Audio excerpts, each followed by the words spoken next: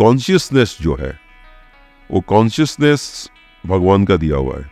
I think no machine no ये can ever created they will all attempt to only replicate whatever is already known consciousness is something which is beyond known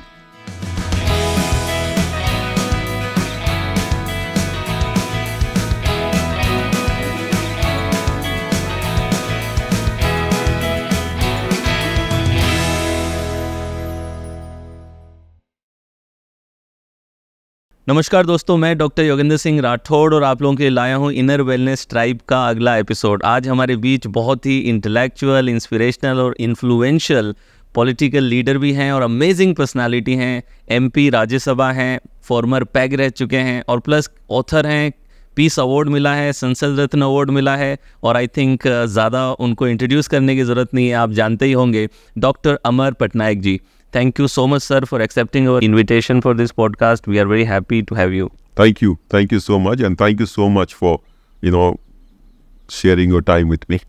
Thank you so sir ये short में काफ़ी लोग तो already जानते हैं but uh, अगर short में ये जर्नी आप डिस्क्राइब करें कि कैसे यहाँ तक का सफ़र तय हुआ क्योंकि काफ़ी सारी चीज़ें आपने इस जर्नी में की हैं काफ़ी सारी services philanthropy so many things you have done देखिए ऐसा है कि मैं तो सिविल सर्वेंट ही था ऑडिट एंड अकाउंट सर्विस में था और मैं बहुत जल्दी ज्वाइन किया था। ग्रेजुएशन के बाद मास्टर्स करने से पहले ही ज्वाइन कर लिया था।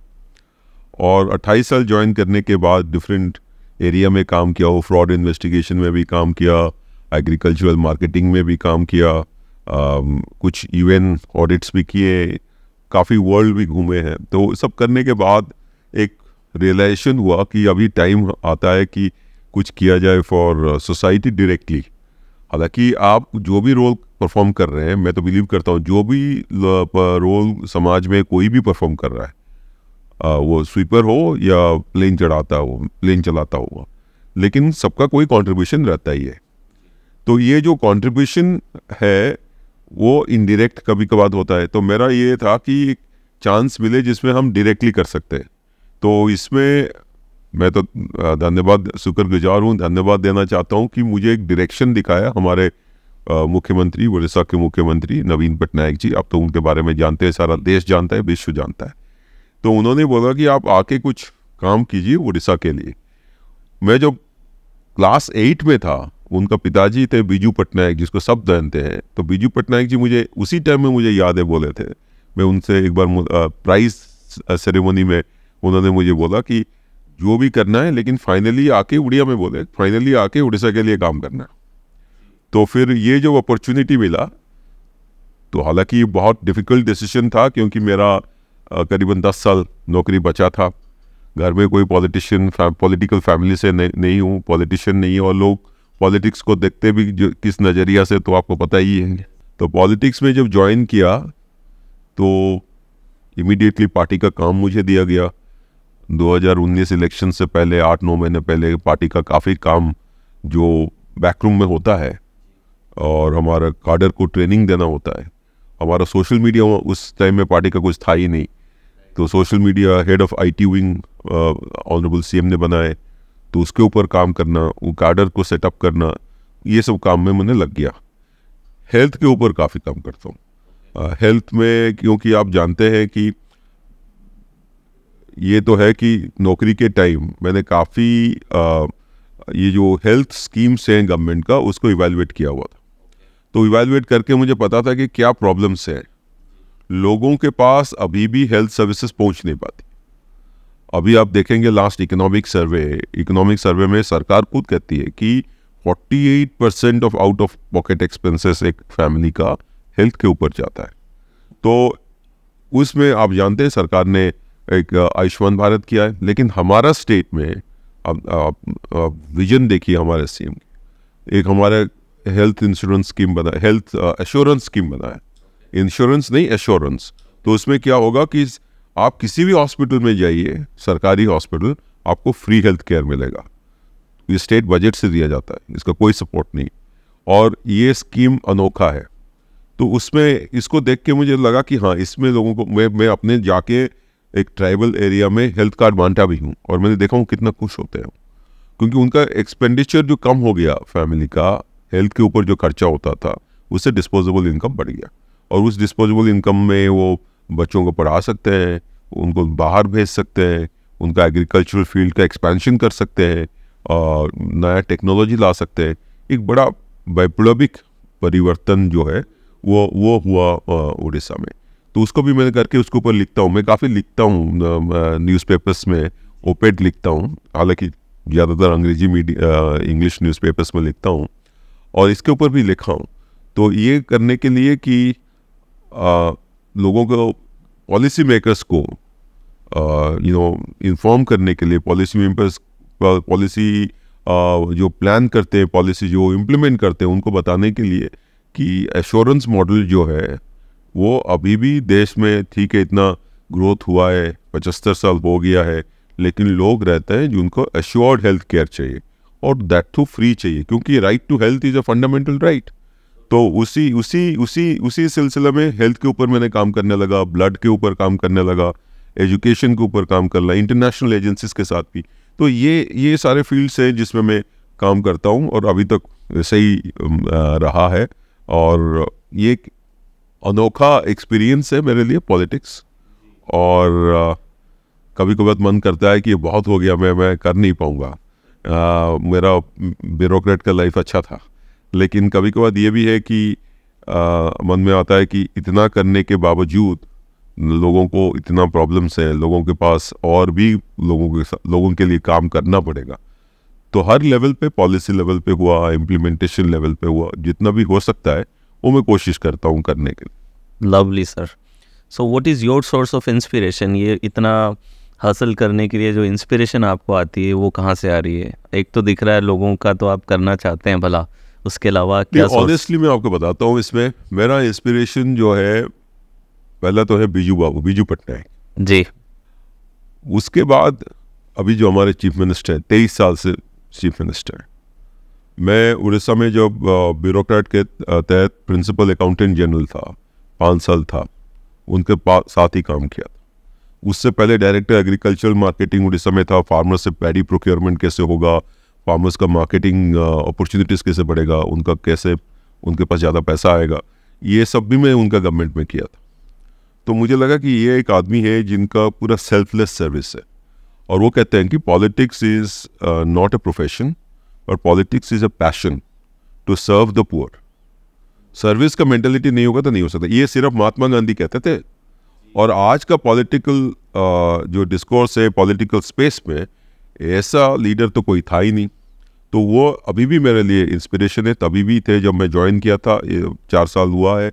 और जब मैं नौकरी भी करता था जो उनके, जो उड़ीसा में पोस्टेड था, वो भी थे, एक आदर्श थे। तो बीजू बाबू और नवीन बाबू, ये मेरा लिविंग एग्जाम्पल्स क्योंकि बीजू बाबू को मैंने देखा भी हुआ है।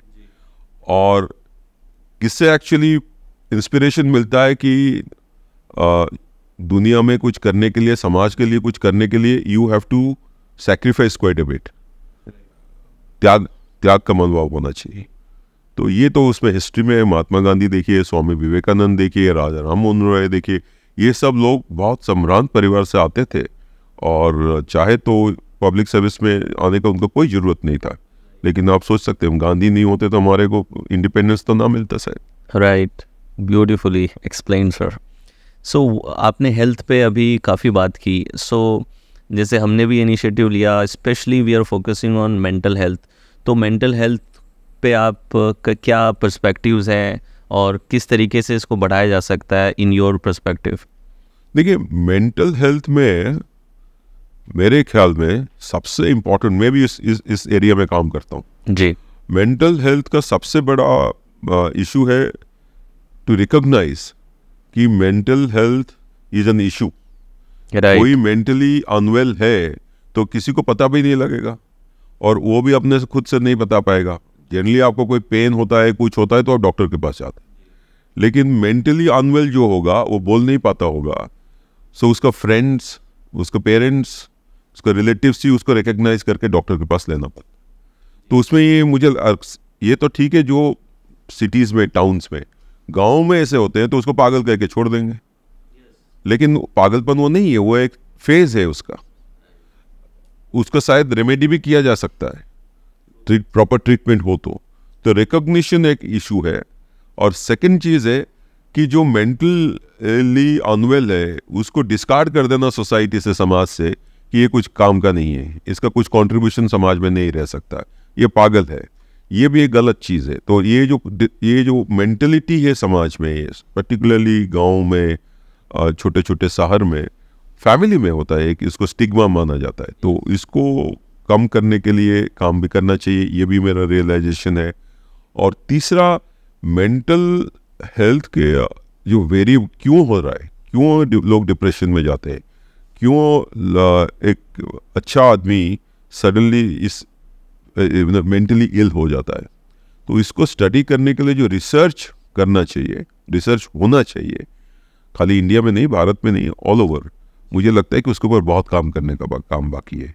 अभी अभी लोग आप अच्छा हुआ कि आप बात कर रहे हैं आप इसके ऊपर आप इसके ऊपर काम कर रहे हैं आपको तो मैं कॉन्ग्रेचुलेट करना चाहता हूँ सराहना करना चाहता हूँ आपका काम तो इसके ऊपर और ज़्यादा लोग काम करना होगा। हम लोगों को काम करना होगा एमपी समाज को काम करना होगा, क्योंकि ये एक बीमारी है जो साइलेंट किलर टाइप एंड इसको, लेकिन ये भी नहीं है कि इसका कोई रेमेडी नहीं है। इसको अभी रेमेडी है, कुछ चीज़ मेडिसिन से, कुछ चीज़ मेडिकल फ़ील्ड से, बहुत बहुत ज़्यादातर एम्पति चाहिए। जो फ्रेंड्स रिलेटिव्स फैमिली का एम्पति चाहिए, उसको समझना चाहिए। उसको उस उस ग्लूम से निकालने का कोशिश करना चाहिए। और उसको एक समाज में रेगुलर इंसान की तरह रह के कंट्रीब्यूट करने के लिए उसको हौसला बढ़ाना चाहिए, उसको इंस्पिरेशन देना चाहिए। तो मेरे ख्याल और काफ़ी चीज़ है। मैं तो एक पार्लियामेंट में अभी क्वेश्चन उठाया था, मैं कई बार उठाया हूँ कि पोल्यूशन हमारा तो पोल्यूशन हर काइंड का पोल्यूशन है। पोल्यूशन का क्या इम्पैक्ट है, क्या लिंकेज है ऑन हेल्थ इन जनरल और मेंटल इलनेस इन पर्टिकुलर तो रिप्लाई आया है मिनिस्ट्री का कि उसके ऊपर स्टडी नहीं हुआ है। तो इससे इससे आपको पता लगेगा कि इसको एक रिकग्नाइज करके कि yes this is a disease which can be treated and has to be dealt with ये चीज़ लाने के लिए हम लोगों को सब पहले काम करना पड़ेगा रिसर्च को और बढ़ाना पड़ेगा और इन लोगों को डिस्कार्ड नहीं करके समाज में रिजेक्टेड इंडिविजुअल नहीं, नहीं करा सकते। उनको आप समाज अपने पास लाके उनका कॉन्फिडेंस बढ़ा के you can get them out of their gloom out of their mental situation some of them will recover many may not recover also but जितने लोग रिकवर कर जाते हैं यू कैन इमेजिन कि उनका life will change so true और even uh, जो कई बार इतना ज़्यादा इसके अराउंड स्टिग्मा हम देखते हैं कि घर में इंसान डिप्रेशन से गुजर रहा होता है सुसाइडल थिंकिंग से गुजर रहा होता है कई बार माता पिता तक को पता नहीं चल पाता। वो साइन दे भी रहा होता है बट उसे लाइटली लिया जाता है। और इवन हमारे यहाँ तो बहुत सारी जगहों पे तो ऐसा माना जाता है कि डिप्रेशन वगैरह कुछ होता नहीं है ये सब फालतू चीज़ है। जा थोड़ा सा घूम ले ठीक हो जाएगा। तो इवन एक इनवैलिडेशन भी है तो जिसकी वजह से एक इंसान में एक शर्म आ जाती है कि अगर मैंने अपने माइंड रिलेटेड कोई प्रॉब्लम की बात करी तो लोग मुझे पागल समझेंगे करेक्ट तो वो एक अवेयरनेस आई थिंक बहुत ज़्यादा ज़रूरी है। एब्सोल्युटली आप जो कह रहे हैं कि इसमें आदमी जो है, जो going through a rough patch going through a situation like this उसको शेयर सुनने के लिए भी लोग नहीं होते हैं। और पेरेंट्स तो फ़र्स्ट स्टॉप है, उनको सुनना चाहिए। बट कई बार मुझे मुझे मालूम है कि पेरेंट्स भी ये बोलते होंगे कि ये बहाना बना रहा है पढ़ाई नहीं करने के लिए, बहाना बना रहा है घूमने के लिए, काम नहीं करने के लिए। बट नहीं, ये actually and that's am saying it's a silent killer मैंने कई बार देखा हूँ, मेरे काफ़ी करीब दो तीन दोस्त थे, जो हम लोग भी नहीं पहचान पाए। वो उसी फ़ेज़ में गए कॉलेज में हुआ है केस सर्विस में मैं जब था, एक लड़की वो फेस से जा रही थी, उसके पेरेंट्स उसको शायद रिकग्नाइज नहीं कर पाए और एक दिन सुसाइड कर ली थी। तो ये यू नो उस, उसके ऊपर स्टडीज़ बहुत कम हुए कुछ कुछ कंपल्सिव होता है मैंने इस, एक मोमेंट में डिसीज़न लेते हैं। तो मेरे ख्याल में आप उसके ऊपर जो काम कर रहे हैं तो मैं फिर आपको सराहना करना चाहता हूँ कि very good thing that you are all of us must do this all of us have great role towards this people because even if we can get fifty percent of them to mainstream in society and perform their duties we would be making not only a contribution to them but to society to their parents to their families so true so if you move ahead what is the role of yoga meditation what do you think क्या इनके बारे में भी और awareness इनको integrate करने से इसमें काफ़ी फ़ायदा मिल सकता है? बिकॉज़ आप भी बहुत uh, योगा एडवोकेट करते हैं। I have read about it I have seen you as well so what is your take on this that having practice like yoga meditation this can enhance our mental health hundred मैं बोलूँ तो two hundred जी। मैं अपने अपना अपना अपना life का experience बोलता हूँ। मुझे जब मैं हालाँकि मैं मेरा रेगुलर प्रैक्टिस में रेगुलर मॉर्निंग में, मैं मॉर्निंग जॉगिंग और वॉकिंग के लिए जाता हूँ एक घंटे और उसके आने के बाद, नहाने वाने के बाद मंत्र के साथ मैं प्राणायाम करता हूँ, थोड़ा बहुत योगा भी करता हूँ। एक्सरसाइज के टाइम योगा कर लेता हूँ वॉक के टाइम में और स्ट्रेचिंग ब्रेचिंग और उसके बाद मेडिटेशन एंड प्राणायाम दोनों चीज़ करता हूँ नहाने के बाद।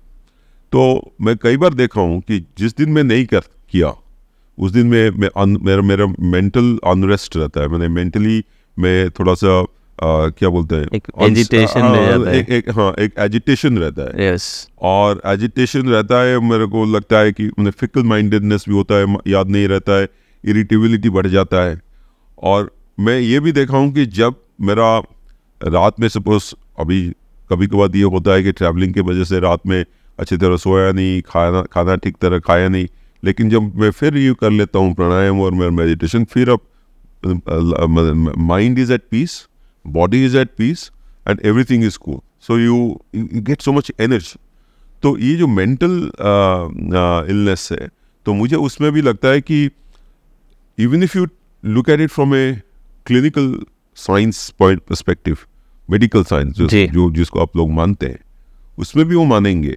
हालाँकि उसी के ऊपर भी रिसर्च कम हुआ है कि if they go through yoga and pranayama and meditation उनका condition will actually improve because वही सेल्स इन द ब्रेन वही cells motor nerves they will respond differently after you do a um, anulom vilom Yes. after you do a uh, uh, you know uh, नाड़ी शोधन मंत्र के साथ आप करते हैं तो ये सब इम्पैक्ट तो है तो. डॉक्टर्स में तो मुझे भी कोई कह रहा था कि इन यूएसए डॉक्टर्स लिख देते हैं योगा आजकल योगा Yes. हाँ योगा meditation योगा लिख रहे हैं। लिख देते हैं प्रेस्क्रिप्शन में यस yes और हमारा यहाँ पे वही आयुष डॉक्टर तो लिखेंगे लेकिन जो एलोपैथी है वो शायद लिखते नहीं है कुछ कुछ लिखते होंगे लेकिन हर कोई वर्बली बोलता है यस yes वर्बली बोलता है इनफैक्ट काफ़ी मुझे मालूम है एस्टेब्लिश्ड प्रोमिनेंट डॉक्टर्स वो मॉर्निंग में पूरा रूटीन इसका फॉलो करते हैं। And their hand is stable they are very good surgeons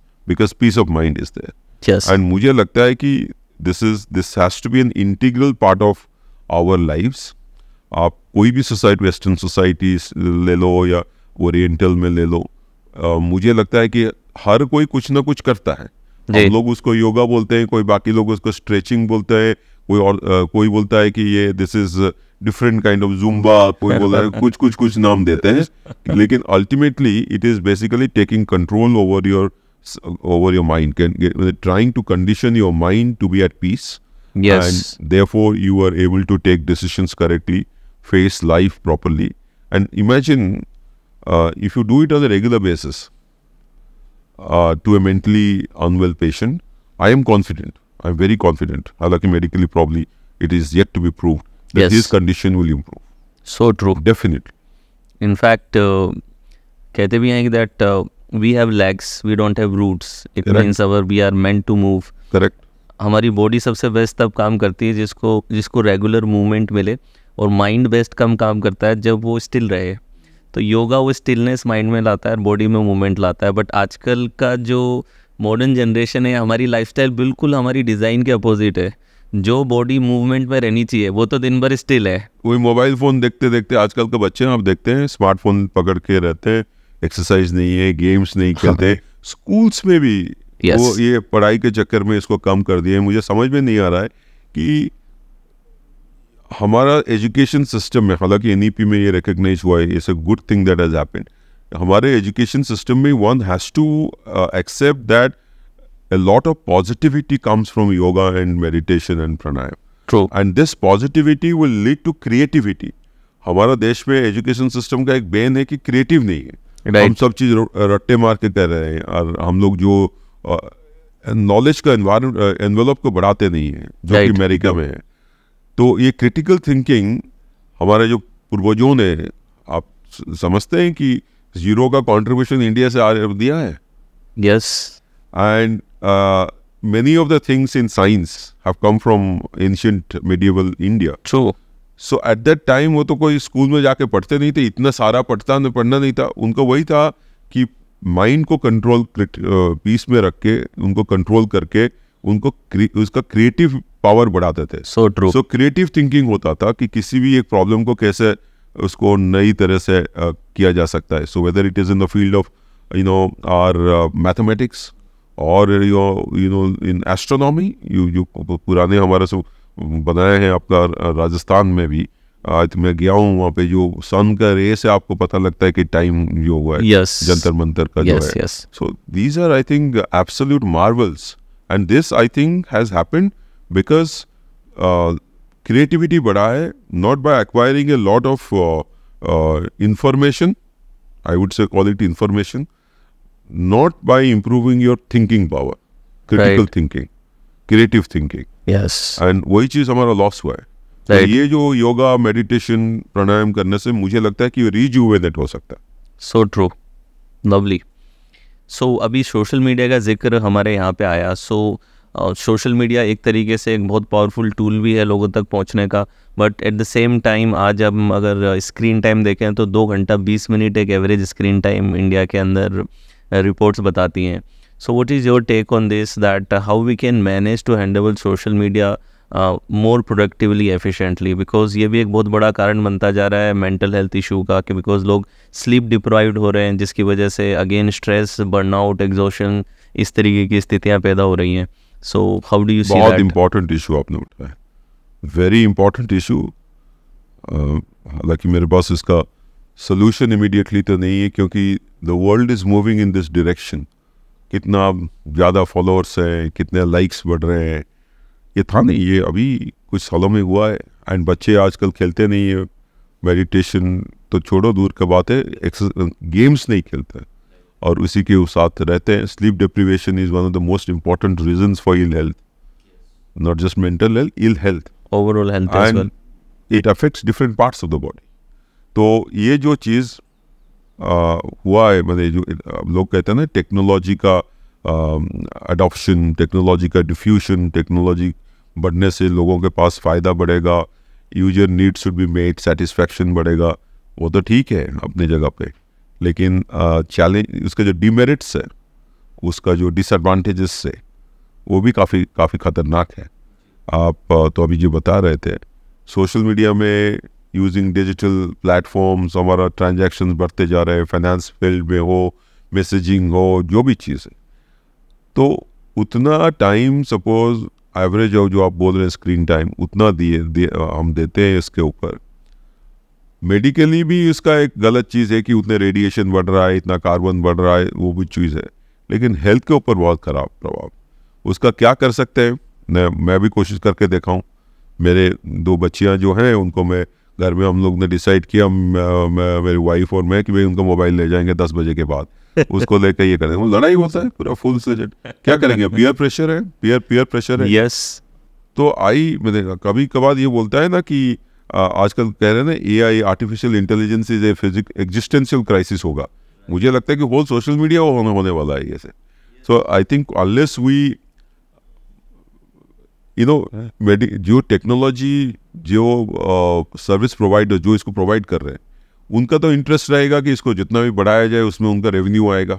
Yes they want to catch our attention क्या कैच योर अटेंशन एंड आप ज़्यादा बोलोगे तो बोलेंगे चलिए आपको सी एस आर में कुछ पैसा दे देंगे आप करने से। But that is you can buy human peace you can not buy health mental health you can not definitely buy mental health mental health can come through practice of yoga and pranayama and meditation तो ये चीज़ आप नहीं कर पाते। आप imagine कीजिए दो घंटा जो आप स्क्रीन टाइम में दे रहे हो वो दो घंटा आप हर कोई आदमी एवरेज में भी प्राणायाम योगा एक्सरसाइजेस में या आउटडोर एक्टिविटीज़ में लगाता। कुछ नहीं श्रमदान करता गाँव में। श्रमदान भी करे गाँव में या अपना कॉलोनी में अ, अपना कॉलोनी को क्लीन रखने के लिए। ये सब हम करते थे पहले। इवन सर्विस में था के करते थे। अभी लेकिन वो नहीं हो रहा है। ये तो मुझे लगता है कि बिगेस्ट डिमेरिट उसको कैसे कंट्रोल किया? हम लोग रेगुलेशन ला रहे हैं।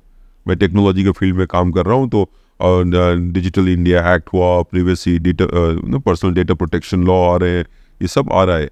लेकिन जो इन जो अर्ज़ है to use more and more data more and more know images more and more videos more and more uh, pictures different ways and send it to people whatsapp it अब तो shorts and reels आ चुके हैं तो shorts and reels seconds में बस। तो उसमें उसी में तो लगे रहते हैं। लोग तो सुबह उठ के मुझे मालूम है कि उठते ही उसको पहले देखते हैं कि स्टेटस क्या है। तो उसका क्या सोल्यूशन होगा? और मैं तो बताया हूँ as a parent as both me and my wife we we failed we could not control because लड़ाई होता था। और वो बोलते थे कि वो तो ब्लैकमेल करने लगते कि तो फिर ये नहीं होगा तो हम स्कूल नहीं जाएँगे कॉलेज नहीं जाएँगे। ये भी हुआ है। फिर भी हम लोग कोशिश करते हैं लेकिन आई थिंक अच्छा ये भी एक है कि जब ऑनलाइन एजुकेशन बढ़ गया है स्कूल्स में भी ऑनलाइन एजुकेशन कोविड के वजह से तो एक्सेस भी बढ़ गया। और लोगों को पता लगा कि इसी के थ्रू में होगा। तो पहले जो स्कूल का पीरियड था एटलीस्ट उस टाइम में मोबाइल्स नॉट अलाउड थे। आठ घंटा एटलीस्ट आप मोबाइल्स के बिना रहते थे। अभी वो भी नहीं है। अभी तो हर टाइम आपको एक्सेस मिला है। इसका एक कैटास्ट्रॉफिक कॉन्सिक्वेंस होगा। एंड uh, जैसे कि एआई के बारे में आर्टिफिशियल इंटेलिजेंस के बारे में जो उसको डेवलप किए हैं वो बोलते हैं आल्टमैन वगैरह बोलते हैं। जो इसमें सोशल मीडिया को भी जो ओवर यूज़ करेंगे सोशल मीडिया जो उनको उसको उसका जो प्रमोट किया लेट से मेटा हुआ और ट्विटर हुआ फेसबुक हुआ फेसबुक मेटा फेसबुक आ गया मेटा में तो ये all these platforms themselves will realize कि they are using it purely for making money but they are destroying a generation of human beings destroying a generation of people who could have made much more substantial contribution to society and to their fellow human beings. So true. और in fact uh, लोगों को भी और ज़्यादा consciously अपनी एक awareness और एक एलिवेटेड कॉन्शियसनेस के साथ में चॉइस लेने की ज़रूरत है बिकॉज़ किसी भी प्लेटफॉर्म का आप पॉजिटिवली भी यूज़ कर सकते हो नेगेटिवली भी यूज़ कर सकते हो but there are so many people who are not that much conscious who live life on automatic. Maybe their inner chemistry is controlling them. So there's that spike of dopamine. They want to stay on the screen absolutely. absolutely. time. absolutely. Right. Absolutely. So you talk about artificial intelligence and uh, i've read that you like that topic as well. So artificial intelligence what do you think is the future of this? And uh, do you think that robots will become conscious in future? Do you believe in that? Because in vedantic tradition we believe that consciousness is fundamental and matter is coming out of consciousness but artificial intelligence say that consciousness is a emerging property matter is fundamental and जब computation certain complexity पे पहुंचती है तो consciousness happens so what is your take on that i would love to know उसमें देखिए first as a policy maker as a science student and all I say कि artificial intelligence artificial basically अब क्या है? What is artificial intelligence intelligence which is artificially created वो artificially कैसे created होगा? ये बहुत सारे डेटा आ जाएँगे। उस डेटा को मशीन लर्न करेगा। आप मशीन का पावर बढ़ा दीजिए। देन उसमें वो रिलेशनशिप ढूंढते रहेगा कि आप आ, ये डेटा आ गया कि हर दिन सुबह आप उठते हैं छः बजे। तो वो फिर उसको पता वो उसी इंटेलिजेंस को गादर किया कि आप हर दिन सुबह छः बजे। एक दिन आप चार बजे उठ भी गए ना तो उसने बोला कि आप जल्दी उठ गए। वो that is artificial intelligence basically in simplistic terms की डेटा से जनरेट होता है।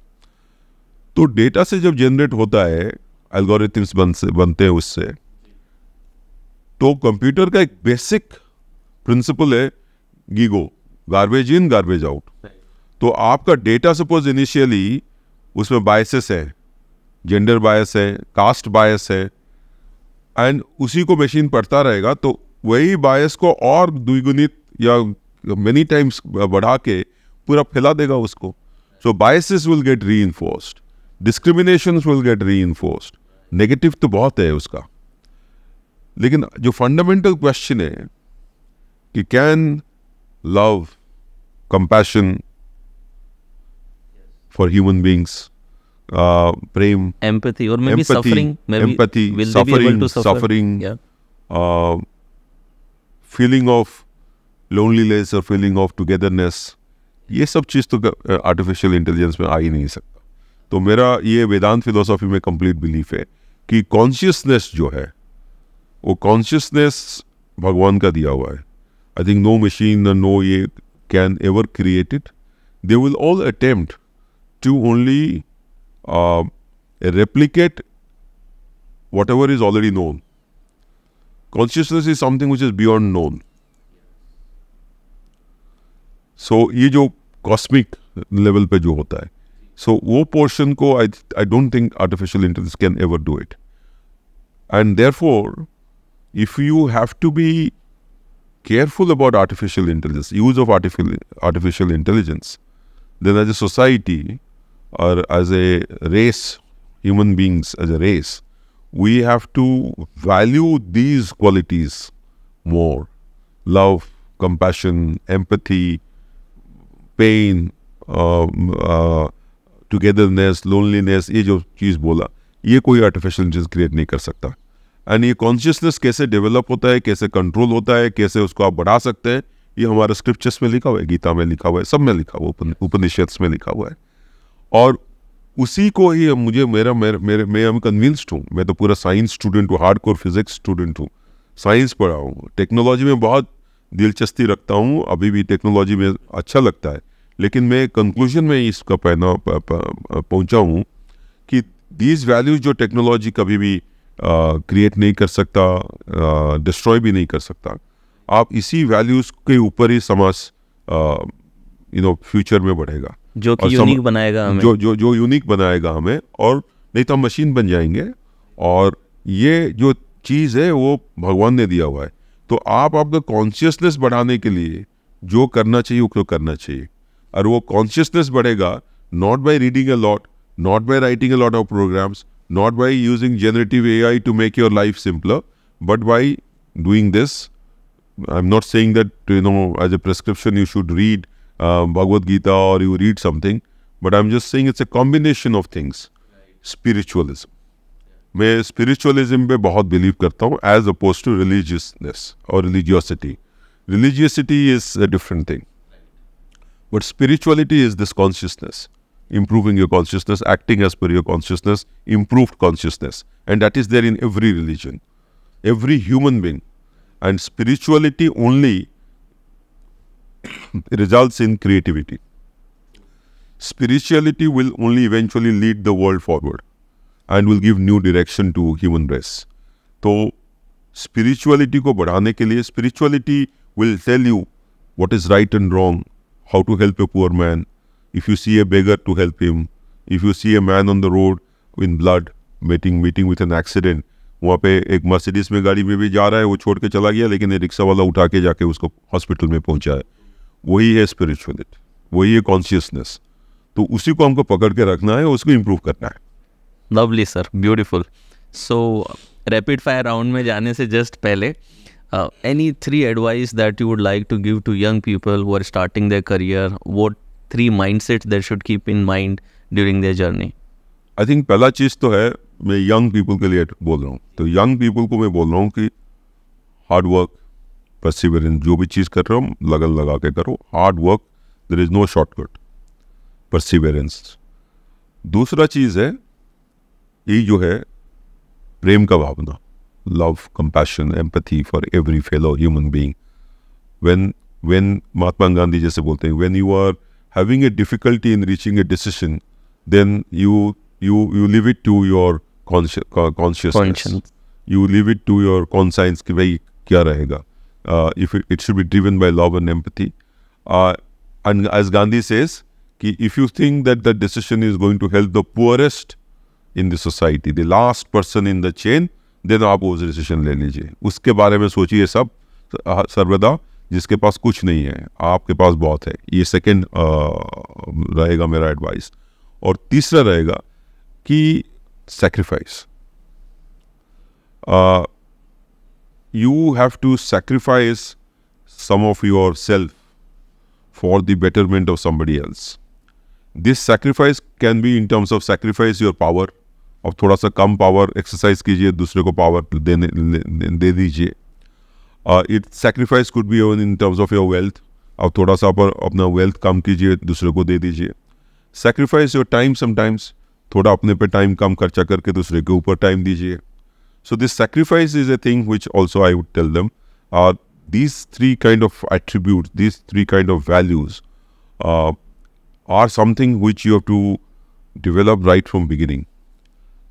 If you do that, you will radiate that also. Others will also see you as role role models and as examples, and it will definitely not be how much money you make or how much a grandiose lifestyle that you maintain, because there will always be somebody who would be better than you in that. Lovely, sir. Thank you so much for such an enlightening talk. And now we'll go for the rapid fire round. One book that you believe every Indian should read. Pandemic disruptions and Orissa's lessons in governance. Why? That's my book Lovely. because it talks about Orissa, my state. A favorite city in India for food. Uh, I would think that it would be Calcutta. Lovely.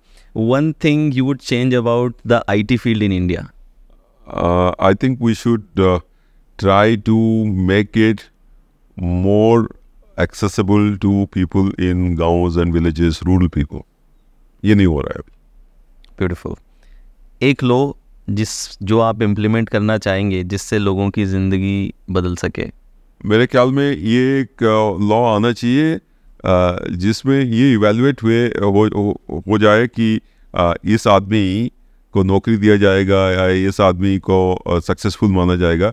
Depending उनमें जो पहले बोला कि उसने कितना sacrifice किया है कितना लोगों को हेल्प किया है कितना लोगों को क्या बात है। पॉवर्टी से ऊपर लाया है in whatever way small way वो लॉ आना चाहिए तो उसके ऊपर इवेल्युएशन होना चाहिए। क्या बात है जी।